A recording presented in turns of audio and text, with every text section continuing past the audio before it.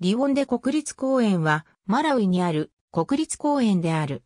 1973年にシーレ川上流域の河川東側にある平野へ設置された。この国立公園の南側の門はリオンデの街の中央から 6km の場所にあり、街からは徒歩や自転車、タクシーで訪れることが可能である。また、リンベの町からは北に 140km の距離である。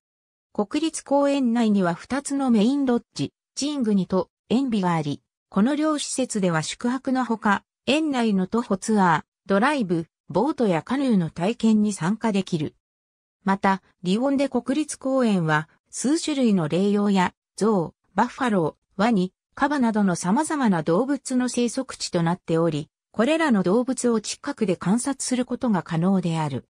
なお、かつては、ゾウの密漁が国立公園内で数多く起こっていたが、国際動物福祉基金と協力して密漁者を排除した結果、密漁を大幅に減らすことができたという。iPhone ホムペゾウを密漁者から守る。ありがとうございます。